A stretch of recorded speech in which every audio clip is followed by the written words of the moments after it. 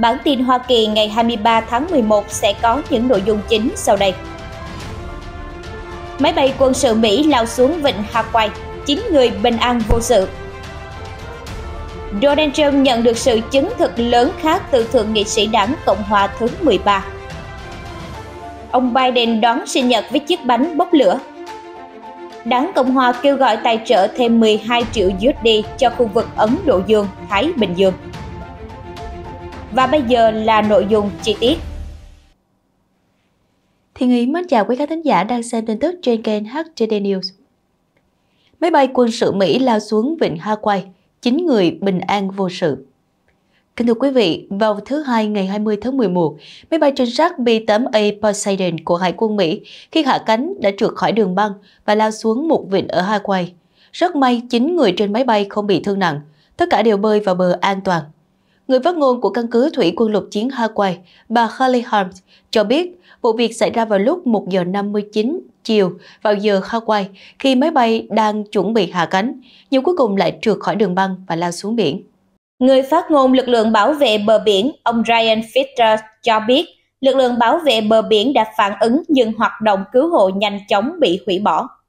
Ông nói có vẻ như tất cả những người liên quan đều đã được giải cứu. Khi xảy ra vụ việc, trên máy bay có 9 người và tất cả đều bơi vào bờ an toàn. Bà Hans tiết lộ họ vẫn đang được đánh giá y tế, các dịch vụ khẩn cấp của căn cứ, bao gồm lính cứu hỏa liên bang, quân cảnh, kiểm soát không lưu, nhân viên hoạt động bên bờ biển và những người khác đã nhanh chóng đến hiện trường.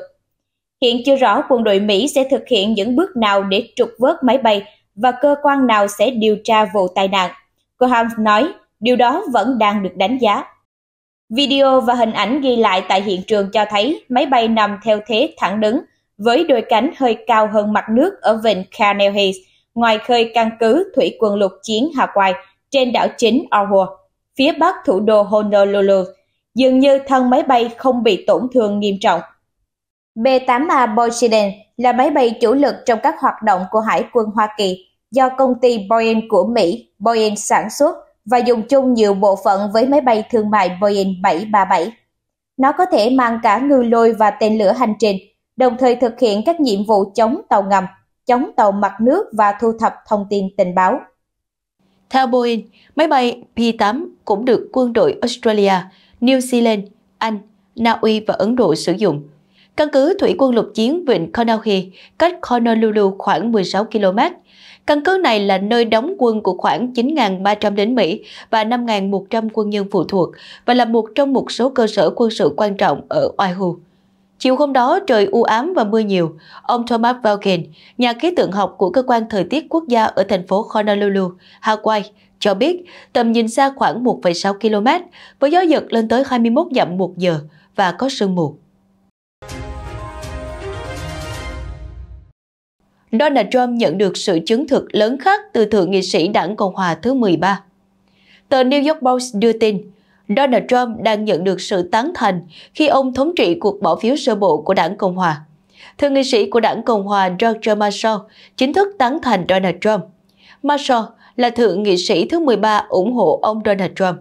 Thượng nghị sĩ George Marshall đã chính thức tán thành cựu Tổng thống Donald Trump trong cuộc bầu cử năm 2024 vào hôm thứ Hai vì ứng cử viên dẫn đầu của đảng Cộng Hòa vẫn là ứng cử viên duy nhất nhận được sự ủng hộ ở Thượng viện sau sự ra đi của Thượng nghị sĩ Tim Scott từ sơ cấp. TNS Marshall, 63 tuổi, trở thành Thượng nghị sĩ Hoa Kỳ thứ 13, bày tỏ sự ủng hộ đối với ông Trump và đưa ra một tuyên bố dài dòng hạ gục Tổng thống Biden vì vắng mặt lãnh đạo đồng thời kêu gọi đảng Cộng hòa đoàn kết xung quanh cựu tổng thống và chấm dứt trò chơi chính trị. Tiedes Marshall nói rằng kể từ ngày John Biden bước chân vào phòng bầu dục, Tòa Bạch Ốc này đã tuyên chiến với nền nông nghiệp Mỹ và sự độc lập về năng lượng của Mỹ nhằm theo đuổi chương trình nghị sự thỏa thuận mới xanh và các chương trình về xe điện của họ.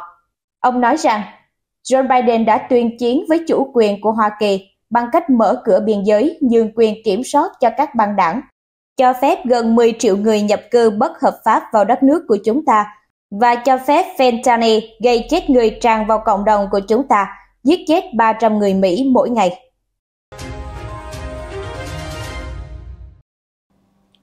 ông Biden đón sinh nhật với chiếc bánh bốc lửa. Vào ngày 20 tháng 11, Tổng thống Mỹ Joe Biden đã đánh dấu sinh nhật lần thứ 81 bằng bài đăng tếu táo và bốc lửa trên mạng xã hội Instagram. Ông Biden đùa trong bài đăng đi kèm với ảnh chụp chiếc bánh được trang trí với hàng chục ngọn nến. Những ngọn nến xếp sát nhau tạo thành vòng rực lửa đã trở thành chủ đề bình luận của người xem. Hóa ra là bạn sẽ hết chỗ thắp nến vào sinh nhật thứ 146. Một bình luận nói đùa, cơ quan mật vụ có đội cứu hỏa không? Một người khác viết rằng, thợ bánh lẽ ra có thể làm chiếc bánh to hơn để đống nến ấy còn có không gian thở. Ông Biden đã đưa ra nhiều lời tiếu táo về tuổi của mình trong những tuần gần đây, giữa những lo ngại ngày càng tăng về tuổi tác của vị Tổng thống Mỹ được thể hiện qua các cuộc thăm dò cử tri gần đây. Tổng thống Mỹ thứ 46 đã dành ngày sinh nhật của mình vào ngày 20 tháng 11 để ân xá cho những chú gà Tây trong lễ tạ ơn tại Tòa Bạch Ốc. Trong lễ mừng sinh nhật, ông Biden nói đùa rằng mình chỉ mới tròn 60 tuổi. Ông nói trong buổi lễ, tôi chỉ muốn các bạn biết rằng thật khó khăn khi bước sang tuổi 60, thật khó. Ông Biden cũng đùa khi so sánh lễ kỷ niệm 76 năm truyền thống ân xá gà Tây tại Tòa Bạch Ốc và tuổi tác của mình. Ông nói rằng Tôi muốn các bạn biết là tôi đã không có mặt trong buổi lễ ân xá đầu tiên, khi ấy tôi còn quá nhỏ. Tổng thống và đệ nhất phu nhân Joe Biden dự định tới Nantucket, Massachusetts vào ngày 21 tháng 11 để cùng gia đình mừng sinh nhật ông Biden. Cặp đôi quyền lực nhất nước Mỹ sẽ ở lại đảo cho đến hết kỳ nghỉ lễ tạ ơn. Đã Cộng hòa kêu gọi tài trợ thêm 12 triệu USD cho khu vực Ấn Độ Dương-Thái Bình Dương.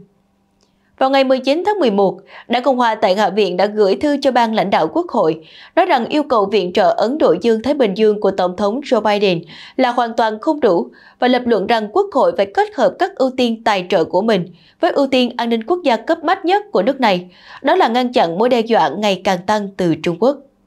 Chủ tịch Ủy ban đặc biệt về Trung Quốc Mike Gallagher, Cộng hòa Wisconsin, đã gửi một bức thư tới Chủ tịch Hạ viện Mike Johnson, Cộng hòa Louisiana, lãnh đạo thiểu số Hatkins Jeffens, Dân chủ New York, lãnh đạo đa số Thượng viện George Stromer, Dân chủ New York và lãnh đạo thiểu số Thượng viện Mitch McConnell, Cộng hòa Kentucky để yêu cầu các nhà lãnh đạo phê chuẩn thêm 12 tỷ USD cho yêu cầu viện trợ bên cạnh 2 tỷ USD mà Tổng thống Biden đã yêu cầu cho dự án này. Trong thư của ông Gallagher nêu rõ, Ấn Độ Dương-Thái Bình Dương, khu vực ưu tiên của chúng ta là nơi không được phép chần chừ để bảo vệ hòa bình ở châu Âu và ngăn chặn cuộc chiến trên một quy mô chưa từng thấy trong nhiều thế hệ. Chúng ta phải hành động trước khi quá muộn, dù là răng đe có thể khó khăn nhưng nếu để xảy ra chiến tranh thì sẽ vô cùng khốc liệt. Chúng ta phải tăng cường yêu cầu bổ sung ở Ấn Độ Dương, Thái Bình Dương và giải quyết mối đe dọa từ chính quyền Bắc Kinh với sự nghiêm trọng mà vấn đề này đặt ra. Họ lập luận rằng chiến lược Ấn Độ Dương, Thái Bình Dương rất quan trọng trước cái gọi là một thập niên mang tính quyết định đối với khu vực.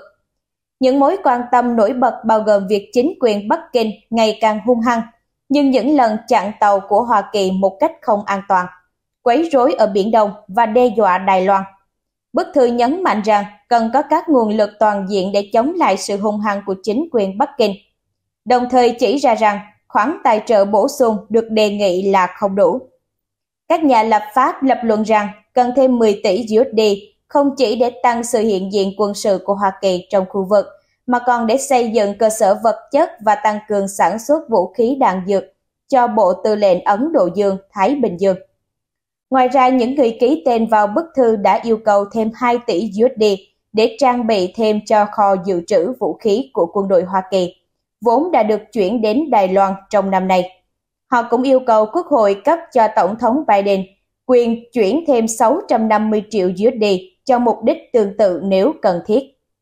Bức thư yêu cầu các nhà lãnh đạo quốc hội đẩy nhanh việc chuyển giao hệ thống phi đạn hành trình, phòng thủ bờ biển lao mốc, hệ thống rải mìn, vũ khí phòng không, hệ thống chống thiết giáp, hệ thống phi cơ không người lái drone và hệ thống hỏa tiễn phóng loạt cho Đài Loan và các đồng minh Thái Bình Dương khác mà họ nói sẽ tiêu tốn thêm 2 tỷ USD. Các nhà lập pháp cho biết trong thư, Nếu chúng ta không cung cấp các nguồn lực cần thiết để ngăn chặn sự xâm lược của Trung Quốc trong tương lai, thì lịch sử sẽ không tha thứ cho sự thụ động của chúng ta, cũng không buông tha cho chúng ta những hậu quả sẽ ập đến. The Epoch Times đã liên lạc với những người nhận thư để đề nghị bình luận. Và thông tin vừa rồi cũng đã kết thúc nội dung phần tin tức của chúng tôi tại đây. Chúng tôi sẽ tiếp tục cập nhật những tin tức liên quan trong bản tin mới nhất trên kênh HTD News. Mọi ý kiến đóng góp cho chương trình, xin quý vị để lại ở dưới phần bình luận hoặc gửi qua hộp thư htdnews.btv a.gmail.com Một lần nữa, đội ngũ HTD News rất mong nhận được sự ủng hộ của quý vị khán thính giả. Xin chào và hẹn gặp lại ở bản tin kế tiếp.